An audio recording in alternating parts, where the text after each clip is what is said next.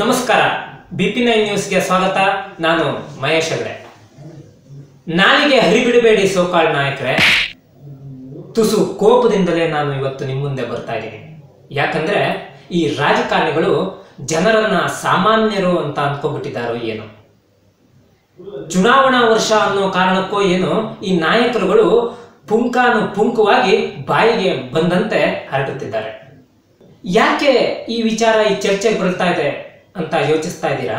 ಸಭ್ಯರನ್ನು ಹುಡುಕುವ ಸ್ಪರ್ಧೆಯಲ್ಲಿ ರಾಜಕೀಯ ರಂಗದಲ್ಲಂತೂ ನಂಬರ್ ಒನ್ ನಂಬರ್ ಟೂ ಎಂದೇಳಲು ಕಷ್ಟ. ಅದರಲ್ಲೂ ಕಮಲಾಪಾಳ್ಯದ ಅನಂತಕುಮಾರ್ ಹೆಗಡೆ, ಈಶ್ವರಪ್ಪ, ಇತ್ತ ಕಾಂಗ್ರೆಸ್ನ ಶಾಮನೂರು ಶಿವಶಂಕರಪ್ಪ ಎಂ ಬಿ ಪಾಟೀಲ್ ಅಬ್ಬಬ್ಬ ಈ ಸಾಲು ಸಾಲು ಹೆಸರು ಹೇಳತ್ತಿರೋದು ಯಾಕೆ ಈ ವಿಚಾರ ಈಗ ಚರ್ಚೆಗೆ ಬರ್ತಾ ಇದೆ ಅಂತ ಯೋಚಿಸ್ತಿದ್ದೀರಾ? ಅದಕ್ಕೆ ಕಾರಣ power minister D K Shi.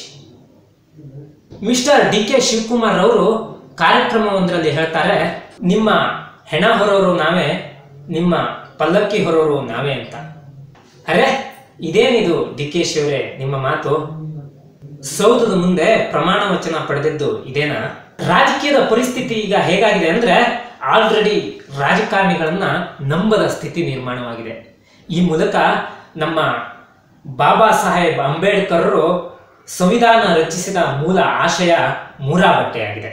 ಜವಾಬ್ದಾರಿಯುತ ಸ್ಥಾನದಲ್ಲಿ ಕೂತ mister power minister D K Shi ಅವರೇ, ಈ ರೀತಿ ಮಾತನಾಡ್ಲಿಕ್ಕಂತಾನೆ ಜನ ನಿಮಗೆ ಅಧಿಕಾರ ಕೊಟ್ಟಿದ್ದೆ.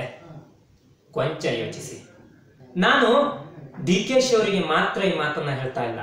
ಸೋ ಕಾಲ್ ನಾಯಕರು ಅಂತ ಕರೆಸ್ಕೊಂಡಿರೋ ಎಲ್ಲ ರಾಜ್ಯದ ರಾಜಕಾರಣಿಗಳಿಗೆ ಈ ಮಾತನ್ನ ಹೇಳ್ತಾ ಇದ್ದೀನಿ.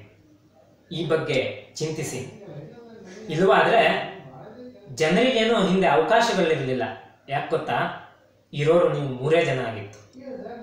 ಇವಾಗ ಜನರ ಮುಂದೆ ಸಾಕಷ್ಟು ಅವಕಾಶಗಳಿವೆ. ಕೊಂಚ ಯೋಚಿಸಿ ಶಿಸ್ತಿನಿಂದ ಮಾತನಾಡಿ ಅನ್ನೋದು ಜನಮಾನಸದ ಆಶಯ. ಅದು ನಿಮ್ಮ ಬದ್ಧತೆ ಕೂಡ. ಸುದ್ದಿ ಕೊಟ್ಟಿದ್ದು ನಾನು Mahesh Hegde, B P nine news. ನಮಸ್ಕಾರ.